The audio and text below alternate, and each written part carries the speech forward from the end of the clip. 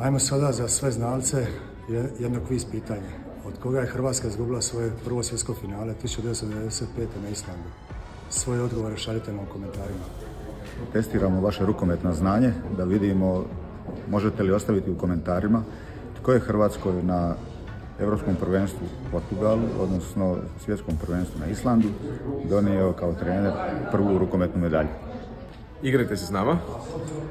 Tko je najtrofejniji hrvatski rukometaš uz Igora Vorija koji je osvojio devet medalja na svjetskim i europskim prvenstvima i olimpijskim igrama? Svoje odgovore ostavite u komentarima. U tri finala koje je Hrvatska igrala, znači dva olimpijska i jedno svjetsko, pobjedili smo Švedsku. Koja je preostala reprezentacija koju smo pobjedili? Vaše odgovore ostavite u komentarima.